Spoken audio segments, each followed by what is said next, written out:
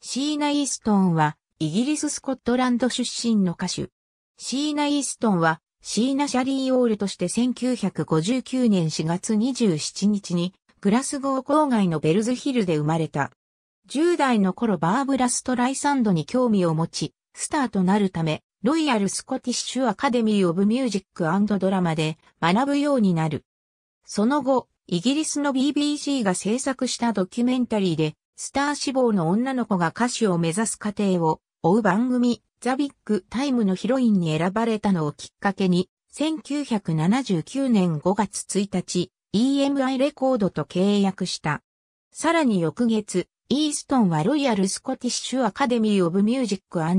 ドラマを卒業し、演劇学教師の資格を取得する。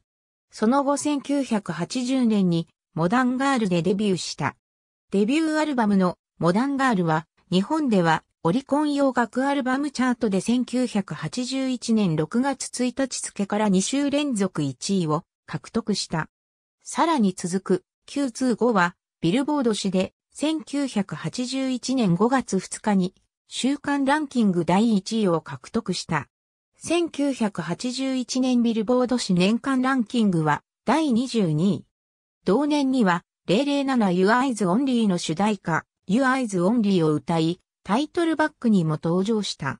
翌1982年には第24回グラミー賞で主要4部門の一つである最優秀新人賞を受賞する。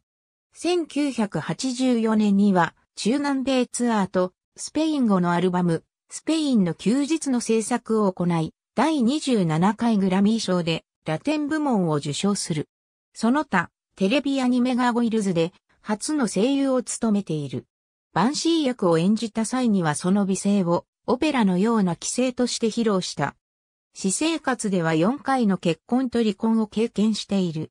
イーストンという姓は20歳で、最初の結婚をした時の夫のせいで、結婚生活は8ヶ月で終焉したものの、それ以来芸名として使用している。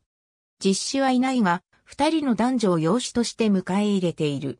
1992年にアメリカ合衆国の市民権を取得しており、2009年の時点では、米国ネバダ州ラスベガス在住。近い世代の松田聖子は、デビュー当時、日本のシーナ・イーストンというキャッチフレーズを使っていた。